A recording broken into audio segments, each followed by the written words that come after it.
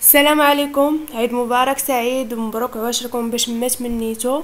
اليوم غنوجدو المعلكه ديال الكاوكاو اللي بلا كوك بلا دقيق اللي كتجي معلكه وغزالة. نتوما تشوفوها مشقة يعني وتذوب في الفم. أول حاجة غنحتاجو رابعه ديال الكاوكاو البلدي يعني 250 غرام اللي غنشدو نديرو في اللاطة ونخشيه غير خمسة دقائق باش تحيد منه الرطوبة ما نحمروش. غنحتاج الميتين غرام ديال السكر حبيبات خماره قيمه 8 غرام سكر الفاني. غنحتاج جوج ديال البيضات نقدر نحتاج البيض أكثر عندي معلقة ديال كوفيسير ديال الحلويات يعني السائلة. جوج معالق ديال الزيت النباتي والملح باش نوازنوا الذوق. أول حاجة ملي نخرج الكاوكاو ديالي كيف ما تنقول ما نحمروش غير نحيد منه الرطوبة خمسة دقائق في الفران فقط غنزيد عليه السكر وغنطحنو. جيدا حتى آه، يولي عندي بودرة يعني تنيل. هانتوما كيفاش كيجي؟ يعني راه منيل. كنطحنو بالقشرة ديالو. غنزيد ليه الملح.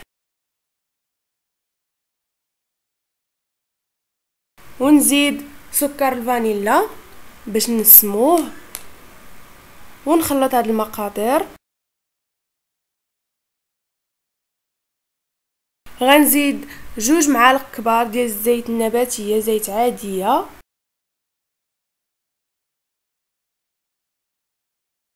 وباش غنعلكو هاد الغريبة غنعلكوها بكوفيتير ديال الحلويات اللي غنزيد معلقة كبيرة اللي تكون عامرة من مربى الحلويات اللي تتكون سائلة.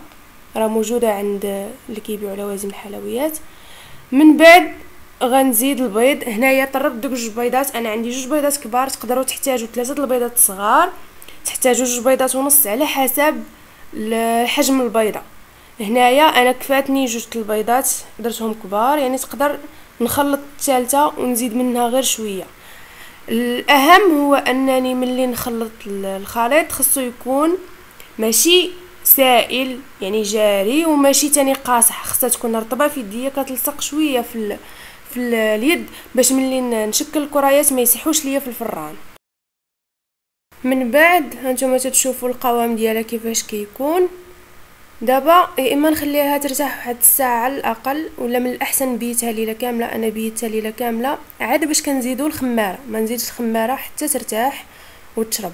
هيا من بعد ما خرجتها من الثلاجة غنجيب الخمارة ونزيدها عليها وندخلها مزيان للعجين ديالي. هي كل ما ارتاحت كل ما داك الكاوكاو كيتعلق وكيشرب وكتجي غزالة. ندخل الخمارة ديالتي مزيان. غنجيب السكر كلاصي سكر بودرة يكون من نوعية جيدة ومزهر غنشكل كرات.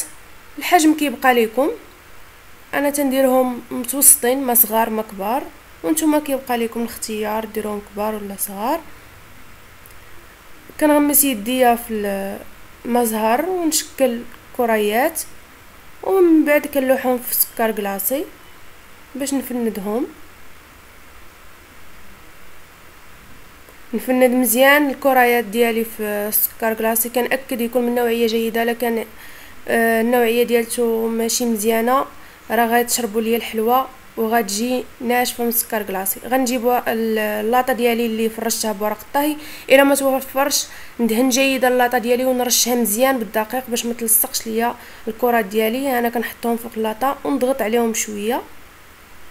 ملي كنكمل اللاطه ديالي غنخشيها في الفران نشعل عليها العافية الفوق حتى تشقق ليا. الحلوى راه ما كتاخذش أكثر من خمسة سبعة دقائق ونهبطها لتحت يعني نشعل عليها لتحت ونخليها.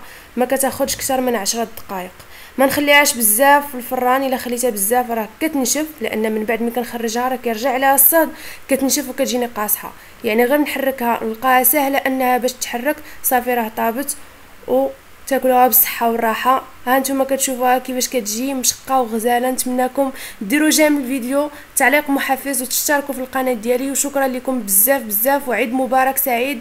وعواشر مبارك.